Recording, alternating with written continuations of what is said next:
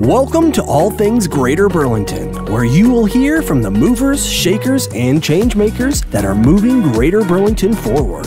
Here is your host, Stephen Brody. Welcome to All Things Greater Burlington. The Greater Burlington Partnership recently had its annual dinner earlier this year, and the highlights of the evening involved the presentation of the community awards. And one of the uh, prestigious awards given is that of Business Person of the Year. And we are very pleased to have with us the recipient this year, Ryan Nagrocki with Midwest Realty. And Ryan, welcome. And uh, first of all, congratulations on winning Business Person of the Year. Thanks, Stephen. Appreciate it. Glad to be here and have a good conversation. So, when you saw yourself up on the screen as being the recipient of Business Person of the Year, what what went through your mind? Um, I think the first thing that went through my mind it was awe and, and shock, and kind of looked over at my wife and looked back up at the screen and kind of thought, "Is this real or am I dreaming?"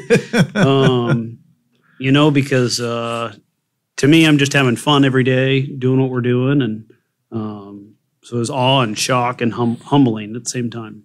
I have to say, I was over on the side of the room and your wife Stephanie's expression was priceless uh, because, you know, she would just had one going along with it. and then when she saw that it was you, it was just, you yep. know, just like yep. that startle yep. happen. And yep.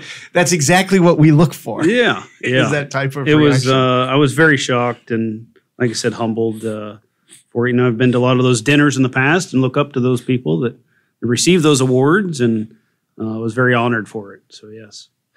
So, interesting question. Were you planning on coming or were you prodded into coming? No, definitely planning on coming. You know, I've, through my uh, previous career in the banking, I've been to a lot of the chamber dinners, and and uh, we like to be very involved in the community, and I think that's a great event for the community and the the business professionals there. So yeah, um, we had already planned on doing that, and we're a sponsor for the evening auction, and so definitely had planned on going. Yeah, no, that's great, and I say that because you know sometimes when you'll have we know ahead of time who's going to be winning, and every now and then you'll hear that the person isn't planning on coming. Yep. So you have to do some kind of interesting works behind the scenes yep. to make sure that person shows up. Yep. So so to be recognized, and, and you may have already answered this, so forgive me. So to be recognized as business person of the year when, you know, uh, here in the greater Burlington area, what does that mean to you? To me, it puts you up on a pedestal with a lot of other peers in the community that have been here a lot longer than I have, and um, they've done some great things in town. And uh, so I was just very honored to that. And you know, I've only been out on my own doing my own thing now about three years, and so in that short time frame to be recognized for what what our team is trying to do, um, I was very proud of it and and whatnot. So let's let's get to where you are right now. What what were you doing before? First of all, are you from the area or are you a, a transplant to Greater Burlington? Yep. So I was born and raised here in Burlington. Um, my mom work, worked at a bank here in town for many many years, and my dad had a uh, small business, a donut shop here in town for many many years. Uh, my grandpa did. It was Harold Spudnuts, and then my dad had it, Doug's Donuts, and um, so born and raised here in town and uh, went to went to school here. Um, after college, kind of moved back to the area, got a job in banking in down in the Keokuk area actually, and then kind of moved back to Fort Madison uh, in banking, and then up to here. So I had done actual uh, banking for about 15 years. Okay. Uh, most recent more in the commercial banking area, and through that time frame, my wife and I had invested into real estate the real estate market through rental properties or flipping a home or two. And it really kind of ignited a passion that I had that I didn't know I had. And it was a lot of fun. Did and, your uh, family uh, do that or where, where'd you pick that up from? No, my family was not in real estate at all. Uh-huh. Um, I actually had a coworker that I worked with at the bank. And he came up to me once and asked if I was in, interested in flipping a house with him. And I kind of looked at him and I said, you know, I've never done anything like that, Uh huh. um, but I'm willing to learn, and it sounds fun. Yeah. And his whole family had a strong uh, construction background, and so we kind of tag teamed and and did that. And I got the bug, and uh, it was just something fun that you know Stephanie and I would do sometimes after work. You get off work to go to work, and uh, so we did that for several years. And then um, after our son Aiden was born, we didn't do anything for a few years, just kind of focused on family. And um, and uh, so there was a, a, a point in my life that um, tragically my dad had died in uh, 2013, so 10 years this year. And uh, it kind of changes your perspective on life and you kind of look at things differently. And so Yeah. my wife and I had talked a lot back in 2019, um, you know, about what I had done in the work I had lined up in the pipeline. I received a tax credit for a development we were doing at that time. And I said, I think now's the time, you know, and that was going into 2020. Little did I know what was in store in 2020, but Everybody Um, had big plans in 2020. Yeah. Didn't know what was going to happen in March. Exactly. And uh, we just said, you know, life's short. Um, you know, I talked to my boss at the bank about it in depth, and we just, you know, life's short. If you enjoy doing something, go do it. If you're passionate about it, you'll you'll succeed. You you make you make it happen. Yeah. And uh, that's kind of what I did. And I think our community needed housing. It needed um, a, more of a focus on the development and construction aspect. And so that's just kind of where we took it. So Yeah, and I'm glad that you brought that up because when I go to conferences and meetings, that's one of the overriding themes of needs in the state of Iowa is housing. mhm. There's there is a housing shortage. There is a need for call it what you will affordable housing if if that's even the the right Mhm. word to use these days. So from your perspective, you know, how how are you able to address that and try to try to solve the housing problem that is going on not only in the region but in the Yep. state So we, I kind of looked at it as that, you know, we have a, there's a good group of uh, local contractors and other builders in the area too that, you know, they were building custom homes for people or they might build one or two spec homes in the area. But um, our goal is to kind of scale those efforts over time and, and utilize, there's programs that the state puts out that help incentivize workforce housing and uh, those kinds of programs. And so, I looked at those and I said, you know, nobody was focused on that here in the in Southeast Iowa, and so you know, if the state's going to put that money out there, I want that to come to our community. You know, again, being born and raised here, and I want to see our community thrive and, and grow. What do you mean by workforce housing, by the way? So workforce housing, I use that term. It's a uh, the state has a a program that they put out that just incentivizes. It's mar- market rate housing. Um, it's not a subsidized product or anything, but workforce for your your typical you know average house household income earners. Gotcha. So Gotcha. um, you know, and so we uh, we looked at that, and so we received a, an award to build some uh, townhomes there in West Burlington. So we had we had done that and completed that in 2021, and then we received another award uh, to build 52 um, units that we're currently doing right north of Target. And so we want to continue to utilize that program that the state state has out there to bring housing options uh, to the Burlington area. How competitive is it to get those awards? Um, it's very competitive. I want to say the last round that we applied, there was, um, I want to say there was about 100 and some applications.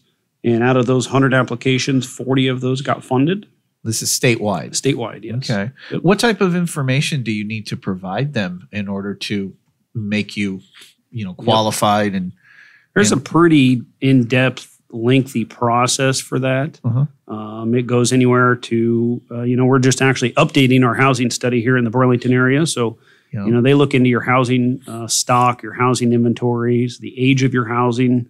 Um, you know, here in Southeast Iowa, we have one of the oldest housing um, inventories here in the state. So they look at that. They look at you know the jobs that you're, br- you're bringing to the area. Are they growing? Are you flat? Are you declining? Yeah. Um, you know, you got to get a lot of local support from manufacturers, um, the healthcare system, different uh, employers in the area that they step up and you kind of have meetings with them and they l- write letters of support. You meet with the councils of government in in your area uh, just to go through a different process. But there's a lot of detail that goes into it. You have to have architectural drawings, engineer drawings um, to provide the state and get your your funding and your financing commitment lined up and So, So- when you when you got off the ground, Ryan, doing stuff like that, and all those things that you're talking about, did you ha- did you know how to do those things already, or did you contract those out, like doing the specs and and and all that other stuff in order to get a So- house put together? So I was fortunate. Um, when I worked at the bank, I had talked to the bank and kind of asked for permission to work with some of this stuff at that same time frame. And so a lot of it um, I would do at home in the evenings. So I'd stay up till two in the morning doing a lot of research and uh, to figure out what I needed to do, how to do it, the process to go through. And so I just kind of taught myself a lot of things Really? and um, but uh, that comes back to that passion and and things you know that I know Stephanie would come into the office at home sometimes and she'd at 1.32 in the morning and say do you realize what time it is you still have to get up in the morning you know Yeah, right. I know and uh, you know so you go to bed you get up yeah go go to work and you do it again and and um, so in the very beginning you know it was there was a lot of late nights or early mornings Yeah. um, kind of just teaching myself how to go about that process. what were there things that you didn't know that you had to learn pretty quickly like for example like how was the bureaucracy in terms of being able to get the idea in your head to being able to then break ground Yeah, there there was a lot of different things, but um, I'm a guy that also likes to surround myself with people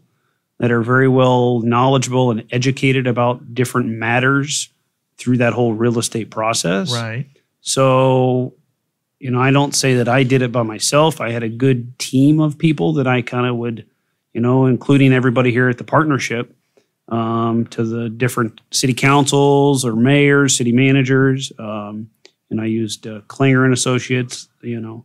So I just kind of would hold meetings with everybody and say, hey, this is what I'm looking at trying to do. yeah And I'm going to need everybody's help to to make that happen. yeah So just kind of make it a team effort because I think uh, if if I can do it, then it benefits everybody. yeah how how are you coming along with the the project in west burlington though it- Yep. tell me again are they apartments or townhomes So it, we we called it Nexus Townhomes. Um, Okay. It's kind of a townhome slash apartment development. okay Um, that that's being built out right now. We've got uh, almost our second building up framed on it right now. We're hoping to have about 20 units ready to rent by August. oh wonderful Um, and then the second phase of that would start this fall. okay So we're uh, kind of broke it up into two phases, and uh, so all 52 of them would be done sometime uh, next summer. Wow. And when when did that get started? When did you break ground? Uh, we just started last fall, okay. so I want to say it was uh, November. November we started uh, kind of moving dirt on the the first building. So we're breaking them up into four plexes and eightplexes. uh huh. So the four plexes are three bedroom, two bath, they have an attached garage, things like that. Um, so it's more of a townhome feel on those. Uh huh. The eightplexes are going to be like your one bedroom and two bedroom units that are more of an apartment feel. Yeah. But the development itself's got a nice little community feel because we're putting a dog park in, putting a little playground in for the kids. Yeah. Um, we're trying to do a little bit more family friendly, you know, uh, area out there. So. Did you do what type of research did you do in advance to kind of come to the determination of this is the type of housing that that would be a good fit here? Yep. So what I kind of did was looked at, um, you know, we had an old housing study that was out there, showed obviously we needed housing, Yeah. and just talking to different community members of what we needed, and there was already a lot of units being built downtown Burlington here, and and uh, but on the outer layers of the community, there really wasn't a ton of um, Right. apartment type development. Uh-huh. And while that's good that we have everything going on downtown, um, some people may not that may not be the the, the feel of where they want to live, and so I wanted to bring a different option. And so that's where we broke it up. So it's not into one building; it's kind of multiples, and the townhome feel that it's more of a modern aspect that you would see in a bigger community.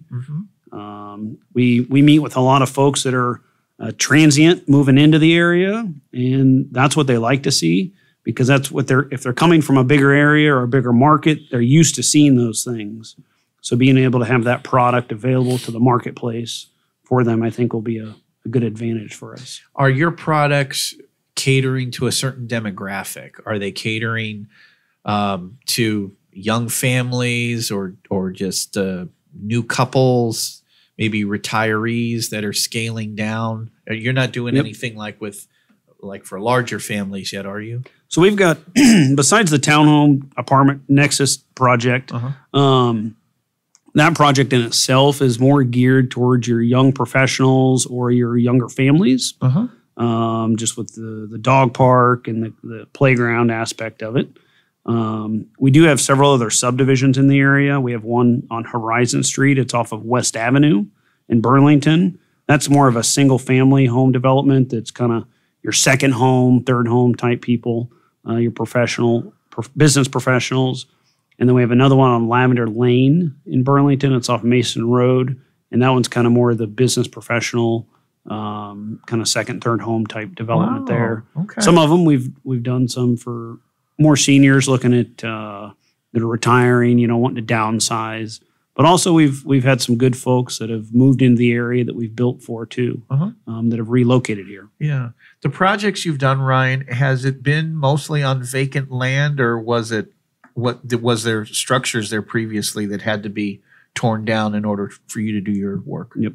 Everything we've done to this point has been uh, vacant land that's uh, been developed. Yeah, we have not done anything that um, needed demolished or infill type. It was all new new development stuff. Yeah. Yep. Well, and, and you don't limit yourself to just doing your job. You and Stephanie as well have branched out into the community and you've involved yourself in in being active as well. Why why do that?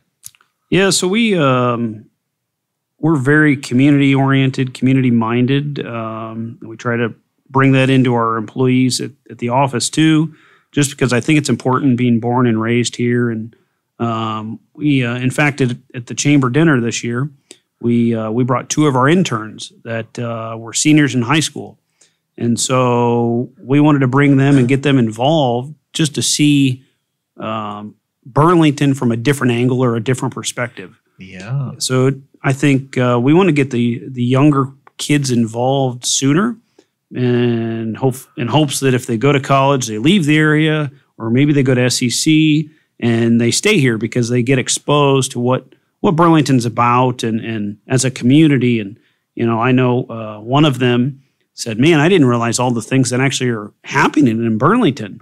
You know, and so I think uh, we're just trying to get get all those folks involved in the community. And um, you know, my wal- my wife is very involved in the Kiwanis organization in town. She's involved a new board member on uh, the Build a Bed Burlington, and uh, they see a lot of people see that, and it's just What um, is that, Ryan? Build a bed, Burlington. Build a Bed's a new organization that uh, my wife was part of. They just started up here probably about six, eight months ago. Might, might be a year now, actually. Yeah. And uh, so what they do is, uh, in fact, they just received a little over four thousand dollars from the Snowball uh, this year. And what they do is they build beds for kids in the community that that aren't fortunate enough to have a bed, and uh, then they provide all the bedding, so sheets, pillows, all things like that.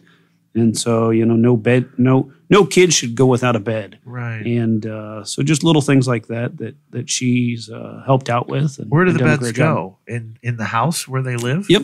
Okay. Yep. So I think I shouldn't quote. I, I want to say that last year they delivered over 60 beds. Um, the sponsoring organization is actually First Christian Church, Uh-huh. um, and uh, so they've they've had a lot of congregation members out there through the church help out as well. Talk about the other um, venture you're involved with, Ryan, having to do with the um, the, the prisons. Oh, yep. So, um, so my wife Stephanie, we uh, I've had a, a great working relationship actually with Mike Norris, who uh, works out at Southeast Iowa Regional Planning. Yes. And Mike Norris and Dan Clark were kind of the uh, spearhead for an organization um, that back in 2013, 2014, Homes for Iowa. So Homes for Iowa was um, an organization that started actually, it's based out of Newton, Newton, Iowa, at the correctional facility. Mm-hmm. And so what they do is uh, they are building modular based homes in Newton and the, the giving the correctional inmates kind of a purpose, you know, and, and uh, teaching them a very valued skill. Yeah. So upon their release, they've got a, a good skill and a trade that they could become employed within their community. And so Mike Norris had approached me. Um, you know, that program, that first year, they moved, I think, eight homes. And he was doing a lot of the logistics. And Oh. he came to me, Mike did, and said, We need help. We need help.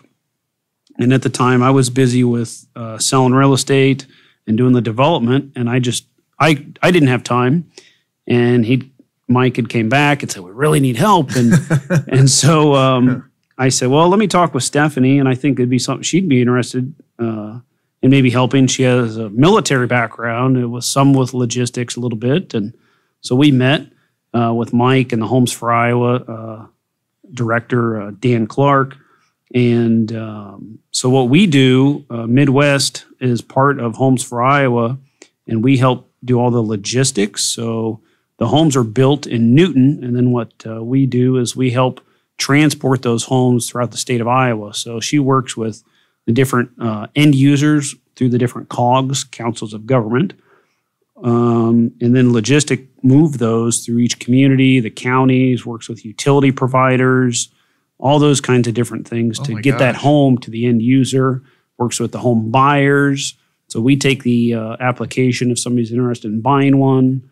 Um, but uh, it's really a great program. They're looking at um, this year trying to do a little over 50 homes and keep scaling it. Their goal is to get to over 100. Yeah. So, yep, neat program. So though. you've got so you've got a hand in somewhere where you're driving on the highway and there's there's a modular home being hauled on on a big truck. yeah, they go down the road 24 foot wide. Yep. Oh my so goodness. it's uh, it's it's a different animal. Um, there's a lot that she does for it, and uh, Does she have to arrange for like for those pilot vehicles as well? That yeah, they're like, fully D- DOT escorted, uh Uh-huh. state patrol, and, and everything. Yep. How'd she learn? How'd she learn to do that? I mean, we should have Stephanie in here. My. We're talking about her as much as you. My Um, goodness. She uh, she learned from Mike. Mike kind of just gave her the key contact people, and then kind of like me, you just jump in and and and you learn and you do it, Yeah. and uh, surround yourself with the people that can help you. And uh, we got it got it figured out now, and got a good system down to, Yeah. to do it. So So now you've been doing homes now for a few years, and you're and and you're being successful with it, and we we appreciate that. I'm sure the community does. Now that you've got your you know your toes fully in it, what do you what do you think needs to be done next? What do you think needs to be done to kind of address the continuing concern about housing? And now that you've been involved, is there something that you can kind of identify and say, okay, I really think this needs to be done. This is an area that we need to address in order to satisfy this need and this concern. Yep. So I know, like in in our area, um, I'd mentioned earlier. So we actually have one of the oldest housing stocks in the state of Iowa here in southeast Iowa. I think you mentioned that before. And so, regional planning out here, Mike Norris again um, has done a great job, and we received a pilot grant, uh, a little over a million dollars, to the Saunderson Heights neighborhood. oh, And what that's going to be utilized for is to go into those neighborhoods and um, provide exterior renovations. So I think more of those kinds of things, if we can figure out how to fund those programs to go and uh, to help different neighborhoods and, and bring that up, uh-huh. um, I think that that catches. So other people, you know, see the neighbor's house getting done, then then they want to invest in their home, and, and it just beautifies the neighborhoods. And um, so different things like that, coming up with ways to fund those programs. The other thing that uh, I'm kind of curious and reading into a little bit is, is senior housing. So there is a great need, I think, in our area for um, a good new product for seniors and um, of an income uh, uh, situated person that um, to help out and uh, Of an independent living. yes, yep, independent living, yep. Um, because as we all have seen here in the past couple of years with inflation and things that uh, you know those people that are on fixed incomes and need good quality, affordable housing, Yeah. and uh, so a product that would kind of help them. I, I see a need for that. Yeah.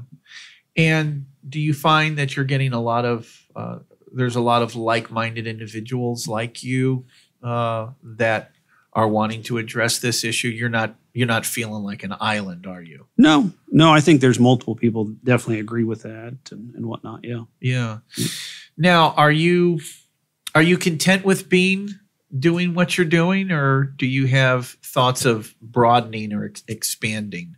Yeah, so we've got um, a new addition started um, later last year. There, we, uh, my business partner John Mercer, we started a real estate brokerage. Okay. So we have a real estate brokerage as well, and we've got several real estate agents that work for us.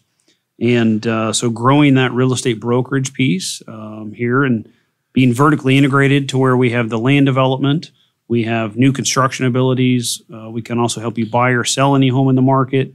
And then with our rental portfolio, being able to help people if they're looking at renting. Um, so kind of looking at growing on that aspect. And then, um, you know, uh, I want to help out kind of Southeast Iowa first. You know, we're looking at some other projects in a couple surrounding counties yeah. and um, that uh, that also are in the same situation here as Burlington or Des Moines County, and um, kind of taking that. And we uh, we've got some other development opportunities we're looking at here in the West Burlington Burlington area that'll be coming up in the next year, hopefully. Kind of see what interest rates do and Oh, where the market takes it, but Yeah. you know, I mean, housing's a, a big deal. In, in 2019, uh, at any given average time, there's about 250 homes on the market. And uh, if you look at that today, there's like 58. Out of those 58, there's about 42 that do not have an accepted offer on them.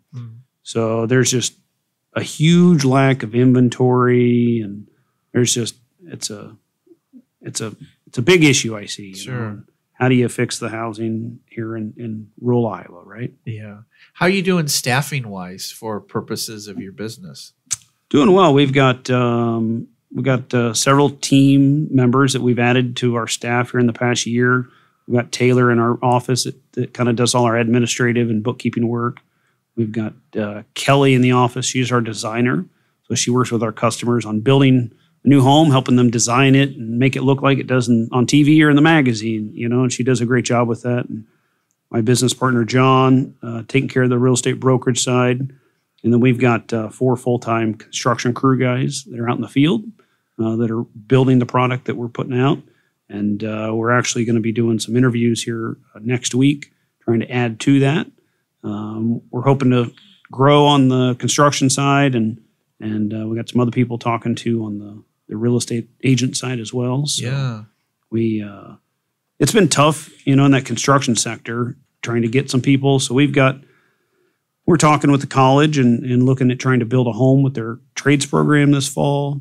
And uh, a lot of my subcontractors are on board to help out with that and to be able to, you know, get that trades program going again, really good and strong, uh, to pump out some additional labor force on the construction side. So, Yeah. because you know if I could hire about ten guys right now, I probably would. So, and I I know all the other construction guys would say the same. So, I would be remiss in the remaining moments not to ask you about the amazing uh, renovation that you did to where you're now located in West Burlington. Can you talk about that real quick as to what, Yeah. what you did there?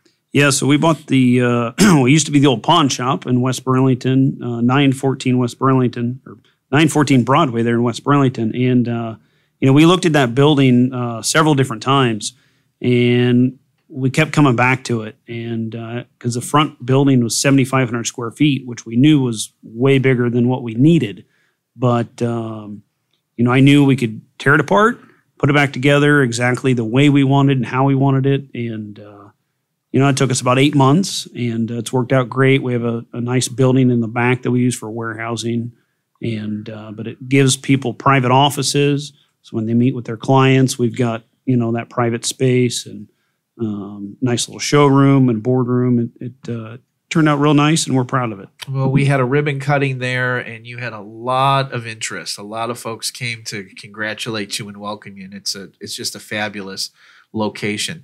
So, in closing, if folks want to get a hold of you, uh, how do they reach Midwest Realty Group? Yeah, so you can find us um, online at MidwestRealtyGroupInc.com. We're on Facebook, Midwest Realty Group.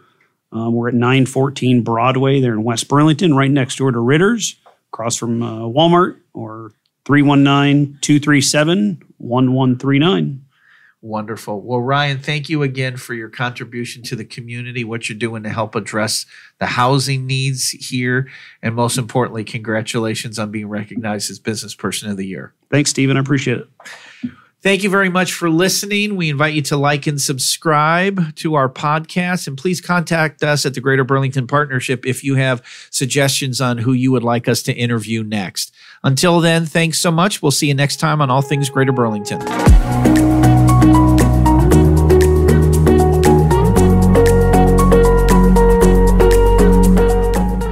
Have been listening to All Things Greater Burlington with Stephen Brody.